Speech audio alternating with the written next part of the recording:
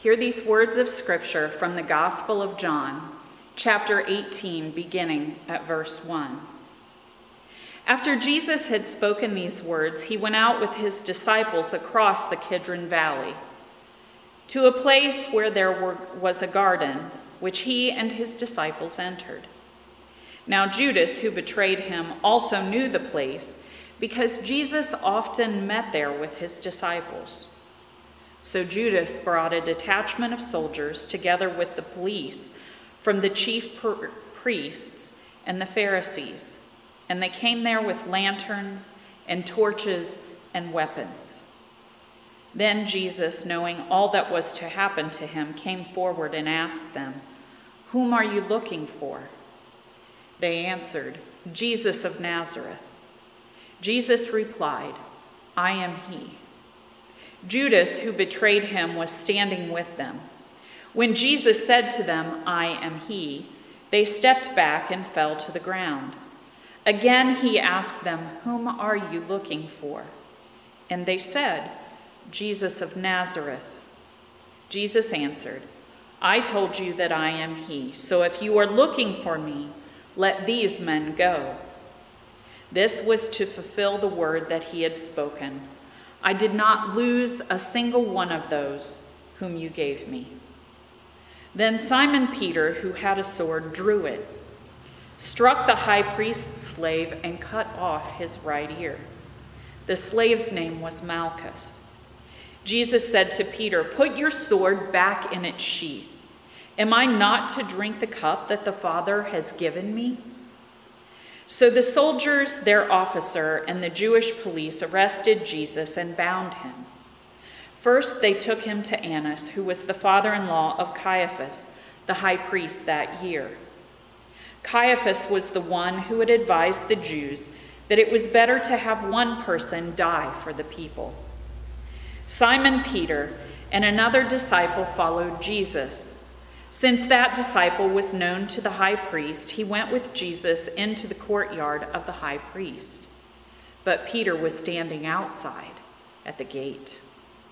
So the other disciple, who was known to the high priest, went out, spoke to the woman who guarded the gate, and brought Peter in.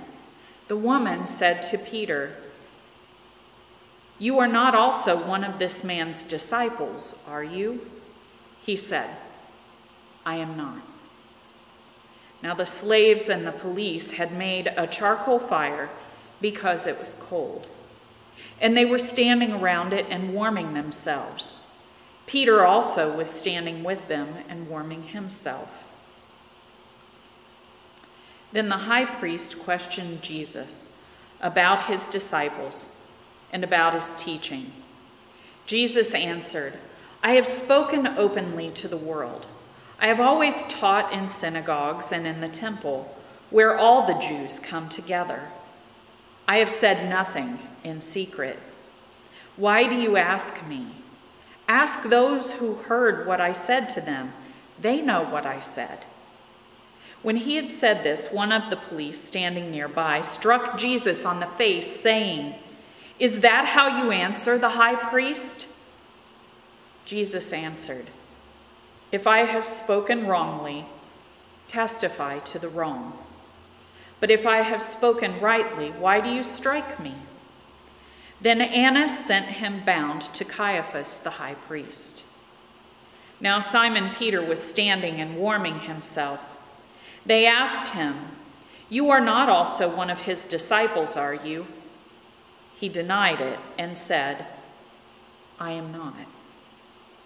One of the slaves of the high priest, a relative of the man whose ear Peter had cut off, asked, Did I not see you in the garden with him? Again, Peter denied it. And at that moment, the cock crowed. Then they took Jesus from Caiaphas to Pilate's headquarters. It was early in the morning, and they themselves did not enter the headquarters so as to avoid ritual defilement and to be able to eat the Passover. So Pilate went out to them and said, What accusation do you bring against this man? They answered, If this man were not a criminal, we would not have handed him over to you. Pilate said to them, Take him yourselves and judge him according to your law. The Jews replied, We are not permitted to put anyone to death. This was to fulfill what Jesus had said when he indicated the kind of death he was to die. Then Pilate entered the headquarters again, summoned Jesus, and asked him, Are you the king of the Jews? Jesus answered, Do you ask this on your own, or did other tell you, others tell you about me? Pilate replied, I am not a Jew, am I? Your own nation and the chief priests have handed you over to me. What have you done? Jesus answered, My kingdom is not of this world.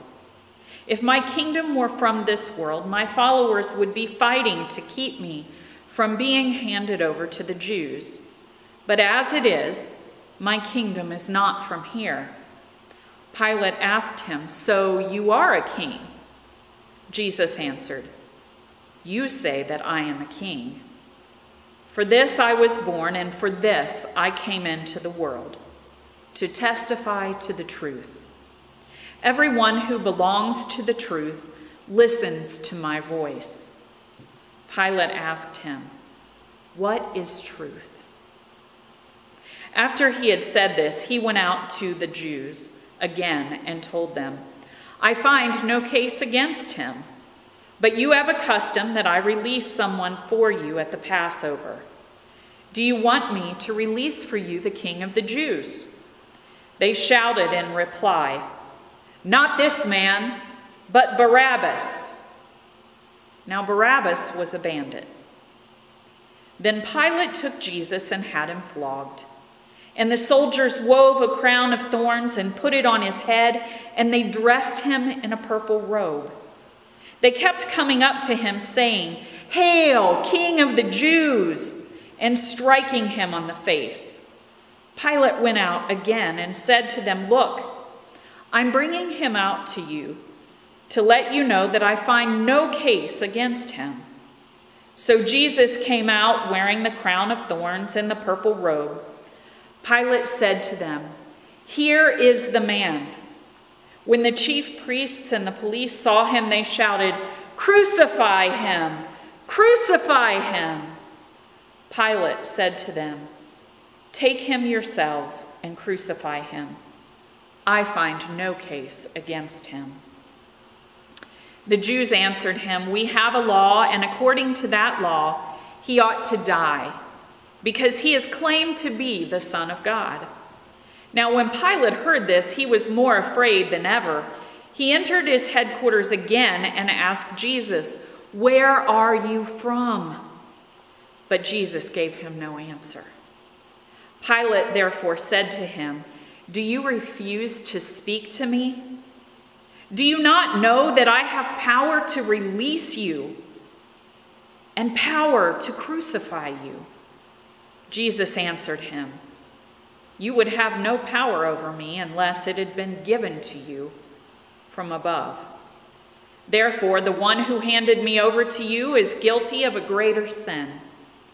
From then on, Pilate tried to release him, but the Jews cried out, If you release this man, you are no friend of the emperor. Everyone who claims to be king sets himself against the emperor. When Pilate heard these words, he brought Jesus outside and sat on the judge's bench at a place called the stone pavement, or in Hebrew, Gabbatha. Now it was the day of preparation for the Passover, and it was about noon. He said to the Jews, Here is your king.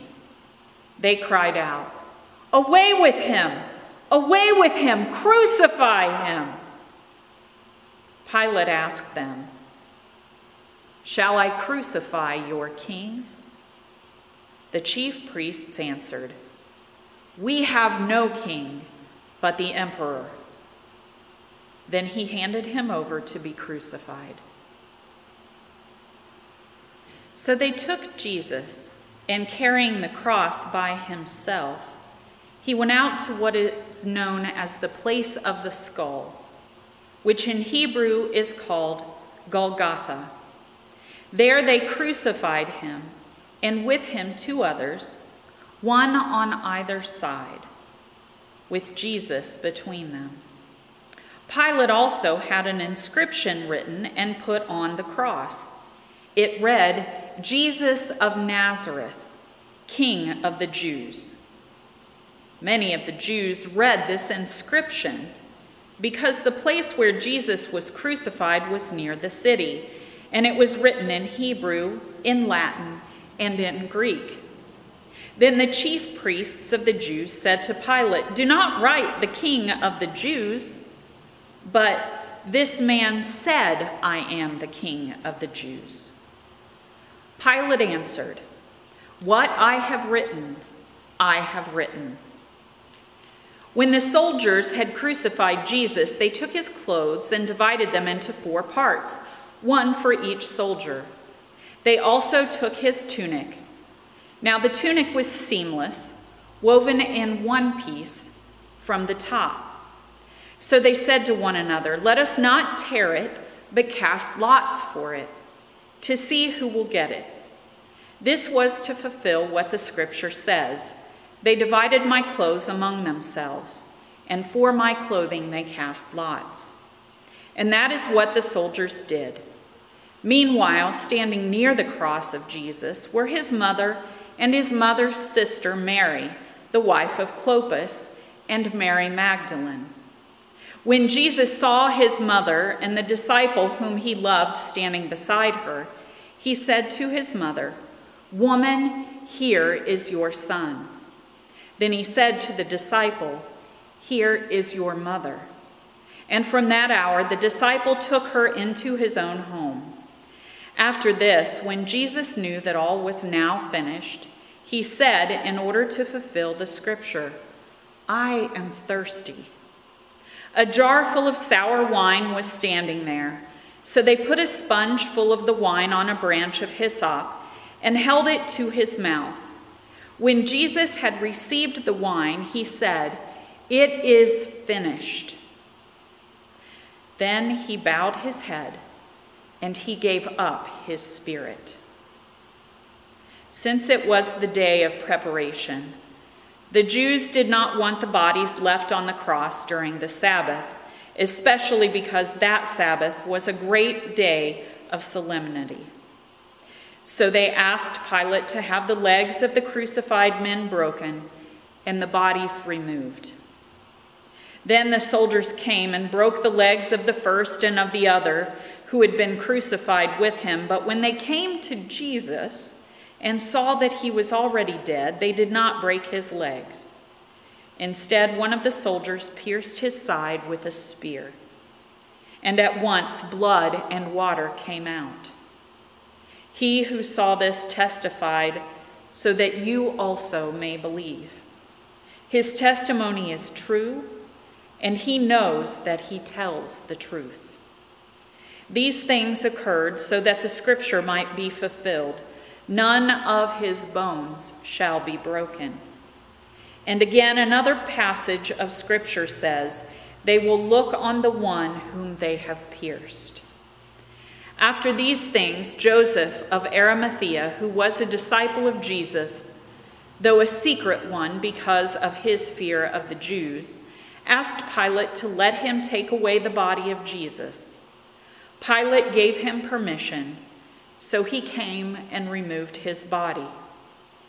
Nicodemus, who had at first come to Jesus by night, also came, bringing a mixture of myrrh and aloes, weighing about a hundred pounds. They took the body of Jesus and wrapped it with the spices and linen cloths, according to the burial custom of the Jews.